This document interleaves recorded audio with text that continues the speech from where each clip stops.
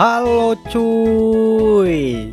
Di video kali ini aku bakal ngasih tahu kalian semua panduan singkat menggunakan brewing stand di Minecraft. Brewing stand adalah sebuah alat untuk membuat potion di Minecraft.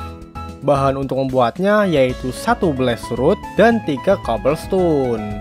Untuk cobblestone kita bisa menemukannya dengan mudah di overworld.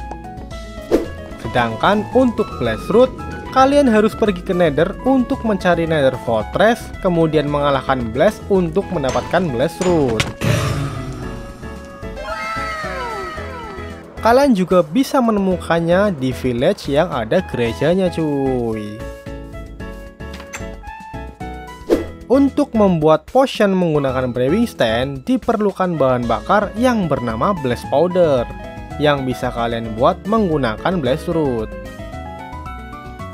Dan perlu kalian ketahui, sebelum membuat berbagai macam potion, ada satu potion yang harus kalian buat terlebih dahulu, yaitu Our Potion. Untuk membuat Our Potion, kalian bisa cek di link deskripsi di bawah, dan kita bertemu lagi di video selanjutnya.